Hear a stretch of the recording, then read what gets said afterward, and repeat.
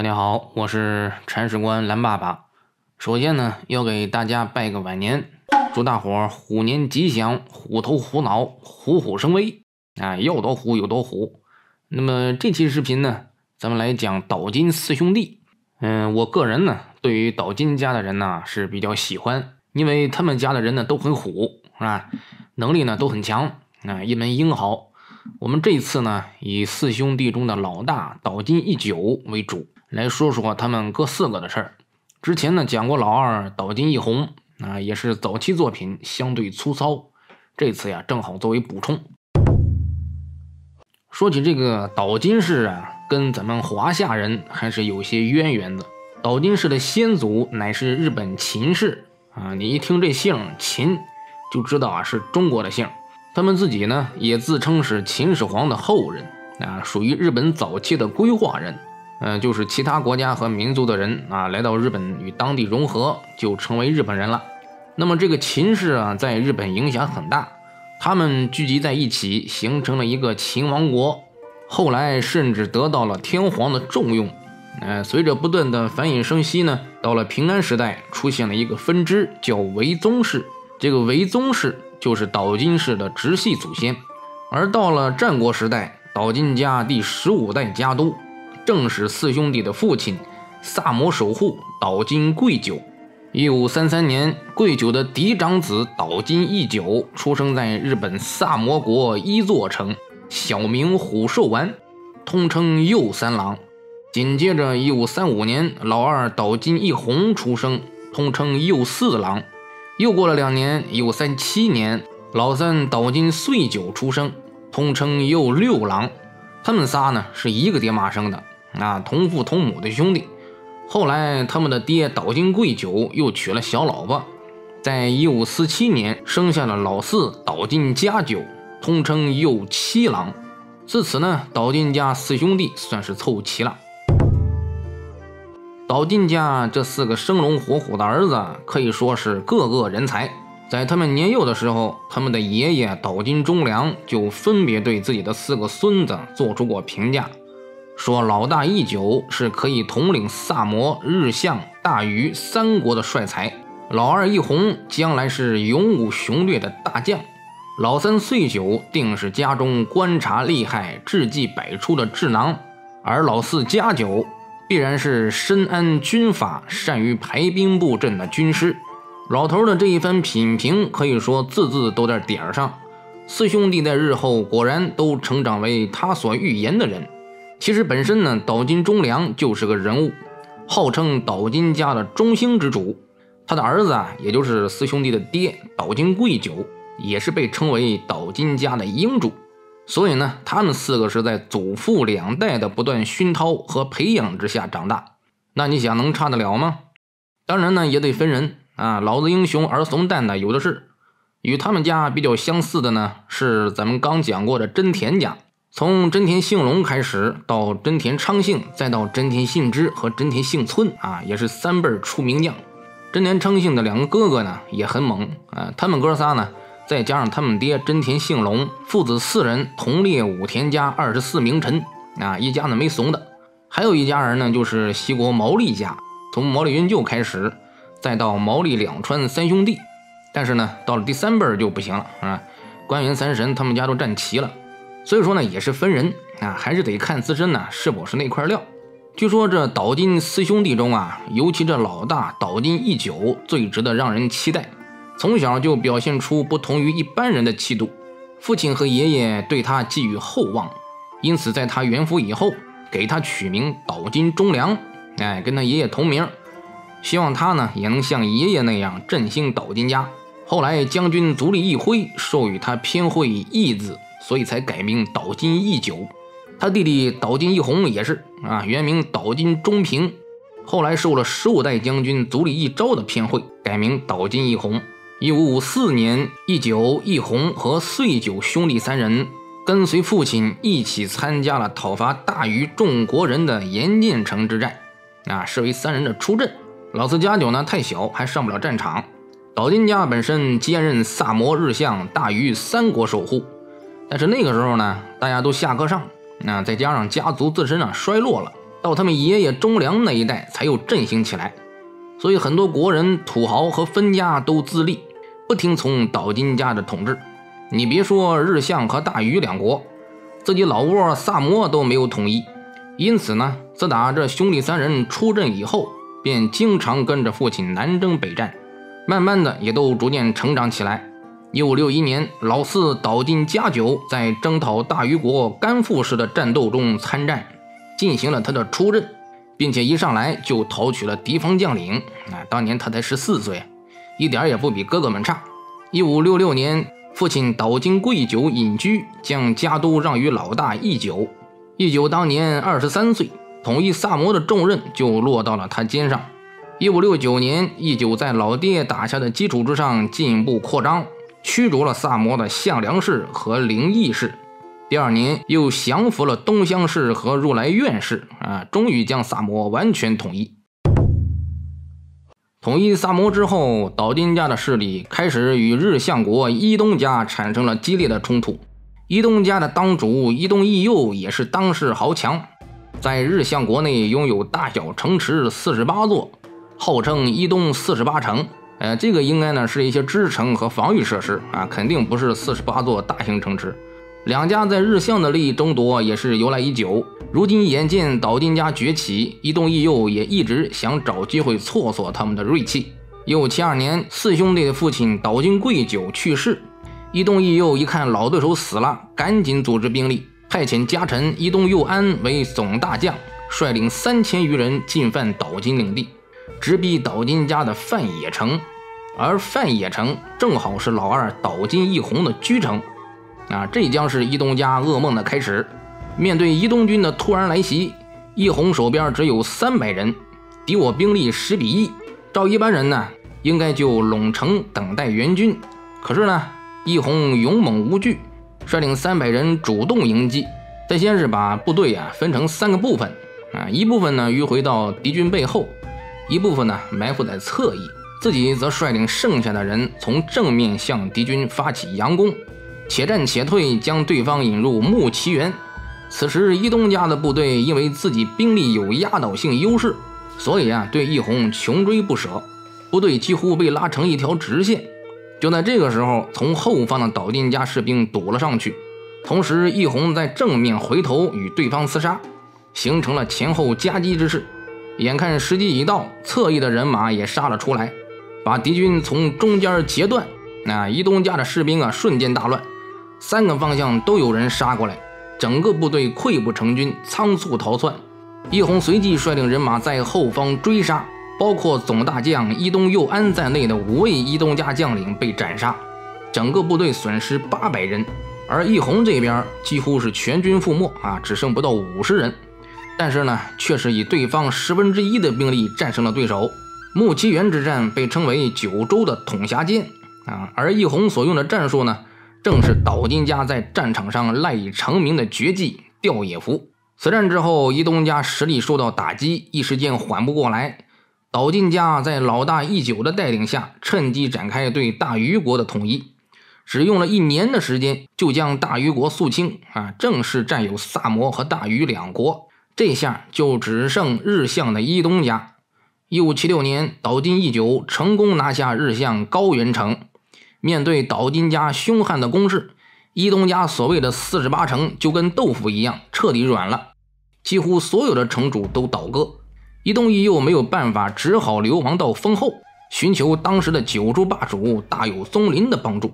大有宗麟咱们也讲过啊，在当时啊手握九州六国领土，名副其实的九州老大。九州一共九国，他一看岛津家的四个小朋友这么猛，啊，不能放任不管呢。于是呢，就答应伊东一右的求援，出兵日向。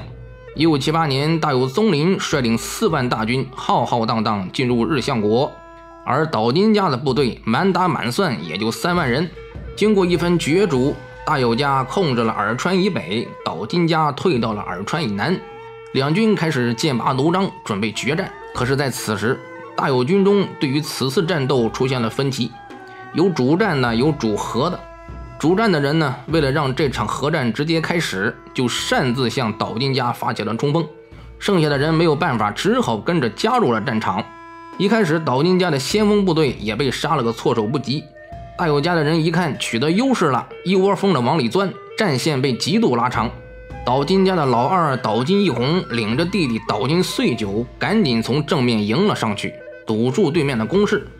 老大义九一看施展吊野符的时机到了，立即从城里冲出，扑向大友军的侧翼。老四家久也心领神会，带领人马加入战斗，形成了对大友军的合围。大友这边陷入混乱状态，开始撤退。义九带着弟弟们在后边疯狂追杀，大友军死伤惨重。据说呢，很多大友家的士兵不是死在岛津家的刀下，而是在逃跑渡过耳川的时候淹死的。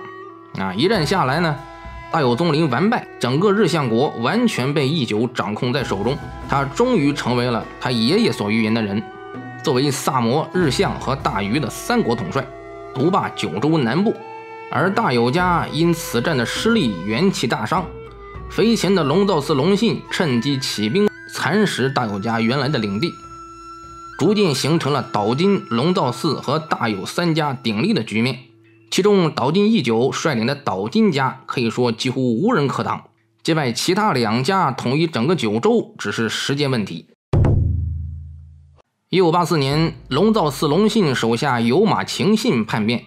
寻求岛津家的支援，使得相对僵持的三家鼎立局面出现了转机。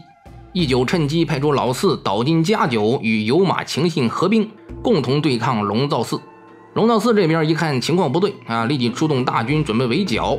据说呀，号称六万人，当然这个数字啊有点虚。而家久和有马晴信这边呢，合在一起啊也只有八千。不管怎么样呢，肯定又是一场以少对多的恶战。你要不说啊，岛津家的人们都愣。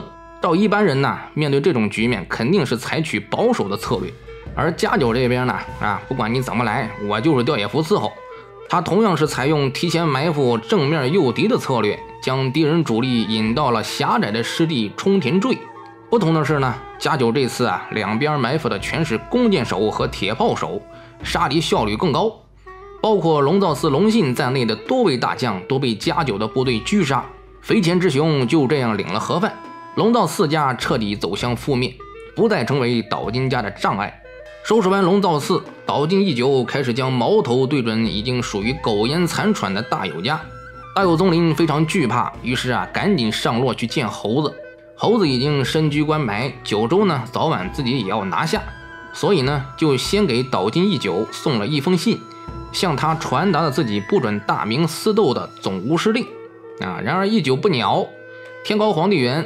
再说呢，你猴子能不能拿下九州还得另说。随即啊，对大友家展开疯狂的进攻。大友家仅存的名将高桥少运和他儿子立花宗茂顽强抵抗，虽然拖住了岛津家进攻的节奏，奈何整个大友已经是强弩之末，无法扭转战争的局势。很快，一九就带着自己的弟弟们攻进了大友家的老窝丰后国。就在这危急时刻，猴子的援军到了。以仙石秀久和长宗我部元亲为首的丰臣家部队登陆九州，作为九州征伐战的先锋。本身呢，猴子让仙石秀久按兵不动，与岛津家对峙，等待自己大部队到来。谁知啊，这秀久贪功啊，他发现呢，岛津在当时的战场上只有一万多人，而自己加上大友家的部队有两万多。于是啊，就执意主动发起进攻。啊，名将长宗我部元亲死命劝挡啊，这岛津家的人呢，就喜欢以少胜多，还是等等吧。秀九不听，最后呢，还是将部队分为三阵，渡过户四川，向岛津部队发起冲锋。而对面等着他的，正好是岛津家有名的军法大师岛津家久。老四一看丰臣家的人就这么傻乎乎的过来了，马上吊野符伺候，来一个死一个，来一对毙一双。一战下来，丰臣家死伤四千，两员大将阵亡，主将先是秀九一溜烟儿从九州跑回了四国。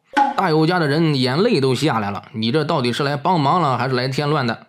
很快呢，家久趁机将大友家居城府内城攻陷，眼看大友家就要完蛋了，猴子的二十万大军终于到了。一五八七年，毛利家、小岛川家和宇喜多家的十万人已经进入九州。很快呢，猴子和弟弟羽柴秀长的十万人也登陆。这个时候，家中负责审时度势的老三岛津穗久发话，说呀，这次咱们面对的可不是仙石秀酒这样的草包了，光毛利和小岛川就不是好惹的。要不咱这次讲和吧？其他兄弟三人呢不同意啊，咱们哥几个什么时候怂过呀？跟他干！一只猴子怕什么？战争的结果大伙都知道啊，这次岛津兄弟啊吃瘪了，确实不是猴子的对手。首先呢是老四加九，他先单独跟猴子讲和，可能作为一名军阀家啊，对于局势的把控更敏锐。随后啊，老大义九和老二义弘也向猴子投降，反而是一开始坚持讲和的老三岁九一直在抵抗啊，他认为呢。你们该讲和的时候不讲和，该强硬的时候又衰了，甚至啊组织过对猴子的暗杀。这很明显呢，作为智囊，岁九明白呀，多抵抗一会儿就会为岛津家多争取一点谈判的资本。最终呢，还是妥协啊，主要是猴子这边能人太多。战后，老大义九被迫隐居，将家督让给了老二岛津义弘，而岛津家保留了萨摩和大隅两国。隐居后的义九剃发出家，法号龙伯。可是最年轻的老四家九却在当年病死啊，享年四十岁。义九虽然退居幕后，但是仍然掌握大半实权，跟弟弟义弘前后配合进行着二元执政。可是猴子呢，深知岛津家兄弟的厉害和凶残啊，如果不加以制衡，将会是个定时炸弹。于是啊，就开始着力拉拢在台面上的义弘。当时猴子啊，授予义弘羽柴苗字和丰臣姓氏。而义九呢，只得到了羽柴的苗字。那你说猴子能不知道实际掌权的还是义九吗？很明显啊，是在给兄弟两人制造间隙。一五九零年，岛津义弘参加了小田园征伐战。第二年，猴子出兵朝鲜，义弘也是非常积极的参战，在战场上表现非常突出。甚至在一五九八年的陆良海战中，他施展了海上吊野夫，让明朝大将邓子龙和朝鲜名将李舜臣双双中了埋伏而战死。啊，吊野夫一招先吃面天呢，所以说呢，他的一些记载中啊，被明朝和朝鲜部队称为鬼石曼子。这石曼子是岛津的音译啊，其实就是鬼岛津。那么有些说法认为呢，这个不符合事实啊，因为明朝和朝鲜人呢不会给一位猛将叫鬼什么，反而是日本人喜欢这么叫。但我觉得呢，倒是挺合理的。对于明朝和朝鲜人来讲，岛津义弘是敌人啊，是敌将。你什么时候见过咱们使劲夸过敌人的，是吧？匈奴如豺狼，听人如恶犬，是吧？二战的时候呢，我们管日本侵略者叫鬼子啊，有时候啊，我们管洋人叫洋鬼子，包括现在也是，是吧？比如我信你个鬼！哎，这些都是贬低对方的，所以说呢，符合我们的用法和习惯。啊，只不过日本人一听，他们管我叫鬼什么，那是自己特别开心，以为是在夸自己呢。话说回来，就在一五九二年同年，家中老三岛津岁久却闹出了事儿。本身岁久啊就以生病为由拒绝出兵朝鲜，所以呢引来猴子的不满。而且平时啊岁久也表现出非常不待见猴子。据说呢是因为他的续养子啊在九州征伐战中啊被丰臣家杀了。而在当年呢岛津家又爆发了反对丰臣家统治的美北一揆，据说呢跟岁久有关系。这一下，猴子忍不了了，强令老大义九将岁九杀死。一九没有办法，就找来了岁九，跟他说明了情况。岁九本想当场切腹以证清白，但是啊，被家臣拦下，仓皇出逃。一九赶紧派兵追讨，啊，要不然这没法交代了，是吧？最后呢，岁九是被追上逃死，这一下算是平息了猴子的怒火。那么其实这里面呢有很多隐情啊。首先，岁九啊不待见猴子，可能是真的啊。但也仅仅是不待见，不至于说挑拨发动一揆。他只是在战场上死了个婿养子啊，不会为了这点事儿啊去惹猴子的，把岛津一门都给搭上。他可是家中智囊，这点事儿啊不可能看不明白。再者呢，说碎九要谋反，都是猴子的一面之词，人家兄弟四人没有说要自己单干的。最后就是啊，碎九本身是个酒豪，哎，特别能喝，也特别愿意喝。老大一酒呢，经常要靠碎九为自己挡酒啊，你可想而知。所以岁九啊，早就患了中风，本身呢被病魔折腾的也快完了。如今猴子呀要拿我们兄弟开刀啊，正好让我这个将死之人顶雷。不管是死也好，出逃也好，无名让自己背下。据说讨杀岁九的将领和士兵在当场痛哭于地。很显然呢，他们也知道岁九挺冤枉，更是有二十七名家臣追随岁九而去。啊，岁九留下的遗书啊，也说得很明白，自己并无谋反之心，只不过啊，现在病入膏肓，没有办法为猴子出力，让猴子不喜欢而已。所以说呢，享年五十五岁的岁九，算是为家族而牺牲。而老二一红在战场上不断活跃，再加上猴子呀刻意为之，他在岛津家中的实力越来越大。但是呢，家中的实际主权仍然在义久这边。两个弟弟都死了，只剩他们兄弟两人。照理说呢，应该是互帮互助，共同维持家中安定。但是呢，也可能是猴子的挑拨真起了作用，兄弟俩在权力上的冲突越来越大。一五九九年，义弘的儿子岛津忠恒在福建城斩杀了义九的笔头家老一级院中洞。很明显，这是义九和义弘兄弟权力不断冲突的结果。一级院中洞的儿子啊，因为不满而发动了庄内之乱，岛津家分为义九和义弘两派。整个家族陷入混乱，视为岛津家前所未有的危机。这个时候啊，老乌龟德川家康出面调停，义弘这边就坡下驴，跟一级院家达成了和解。毕竟是自己儿子杀了人嘛，这样才免去了一场兄弟相残。一六零零年，关原之战开打，为了还老乌龟人情，岛津家决定加入东军，随即由老二义弘率领一千人北上参战。可是，在进入福建城的时候，遭到家康重臣鸟居元忠的拒绝。愤怒之下的义弘当场加入了西军。然而，他也知道这么做太意气用事啊，所以在官员战场上呢，义弘一直按兵不动，并且命令士兵，不管是东军还是西军的人过来，都给我铁炮伺候。所以，当东军占据优势，很多西军士兵想跑来避难的时候啊，都被义弘赶跑了。这样一来，就稳住了自己的军事。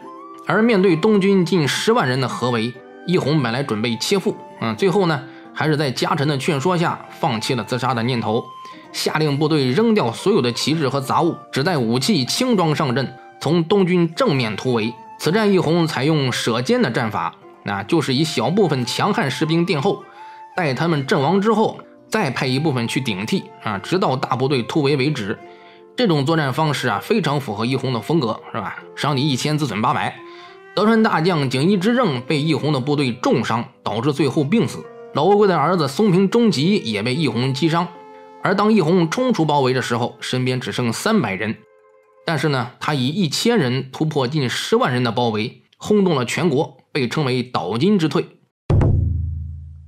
官员回来之后，岛津义久赶紧上洛向家康赔礼道歉，说：“我弟弟义弘加入西军也没跟我商量，属于他的个人行为。”跟岛津家无关，家康最终还是接受了这个说法，令岛津义弘隐退出家，法号维新斋，家督由义弘的儿子岛津忠恒继承。岛津家的领地被完整的保留，称为萨摩藩。这样一来，岛津家成了义久、义弘和忠恒三元之政。义久和义弘两兄弟的关系啊，一直非常恶劣。一六零九年，在义久的反对下，义弘和忠恒父子派出三千人进攻琉球王国。也就是后来的冲绳，琉球也正式成为了萨摩藩的直辖地。当时的琉球啊，是东亚海上贸易的中转站，就是类似于马六甲，商贸发达，经济极度繁荣。其实呢，他们是更亲中的啊，历代国王啊，几乎都要向中国皇帝求封。即使是在日本的占领下，他们也自称是明朝和清朝的藩属。可惜呢，咱不稀罕啊，拱手让人了。一六一一年，岛津义久去世，享年七十八岁。一六一九年，岛津义弘也病死，享年八十四岁。岛津家四兄弟全部走完了一生，而他们家的领地萨摩藩在日后逐渐强大起来。有琉球这么块好地方作为岛津家的地盘，是吧？那你想，丰厚的资金、各种先进的思想和文化技术，所以萨摩藩成为了全日本仅次于加贺的第二大藩。而且与常州、土佐、肥前成为了江户末期倒幕的中坚力量，被称为四强藩。这四个藩都在日本的西边啊，先进思想进来的快，历来岛津家的人啊也能惹事儿是吧？有个事件叫生脉事件，我记得讲过，感兴趣的呀可以去查一查。甚至啊，岛津家的血脉进入了皇族，上一代天皇平成和现在的令和都跟岛津家有血缘关系。好了，今天的故事啊，咱们就说到这儿，下期再见，拜拜。